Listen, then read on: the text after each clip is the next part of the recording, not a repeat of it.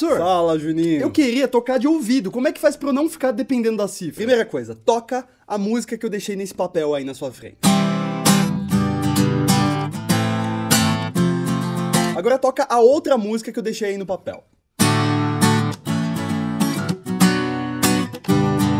Coisa que você precisa sacar é que as duas músicas possuem a mesma cadência. É como se as duas músicas tivessem a mesma sequência de acordes, só que em alturas diferentes, em tons diferentes. Entendi. Só pra você entender, coloca o capotraste na segunda casa. E agora faz igualzinho o Dó, Sol, Lá menor e Fá. Boa, Juninho. Isso aí que você tocou, na verdade, foi os acordes de Ré, Lá, Si menor e Sol da segunda música. Pô, professor, que legal, entendi sim, bicho. Vou treinar aqui, ó. Você tá fazendo não tem efeito nenhum. Você tá tocando com a mão antes do É capotraste. verdade, né? Desculpa, professor. Vacilão.